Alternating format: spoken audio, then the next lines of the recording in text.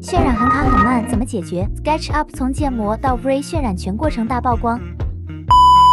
我们先搭建出墙体模型，接下来是楼板和地面、窗户、天花造型结构设计、定制类柜子设计、窗帘模型放置、书桌和灯具模型放置、其他装饰品和软装模型，我们到建议进行下载，一起放置到模型中，再添加一个窗外的贴图模型，添加上 V 的灯光元素。接下来我们使用易炫的云服务，把模型导出 V 场景文件，发布到易炫，调整输出参数。接下来全程就是云渲染的过程。